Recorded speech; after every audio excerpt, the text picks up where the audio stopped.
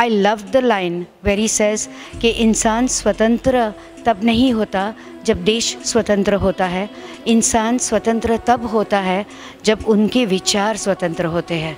The subject and the message of the play is so noble and so enriching I feel enlightened this play has come at the right time because the new gen needs to be exposed to what a great leader we had. And what a great guru he had. Even my generation is not aware so much about the guru.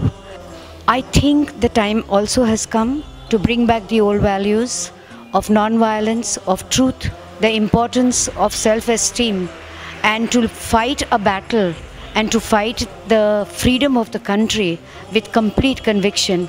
Thank you, the entire team who has been relegating around this place to invite me and make me a part of this special experience.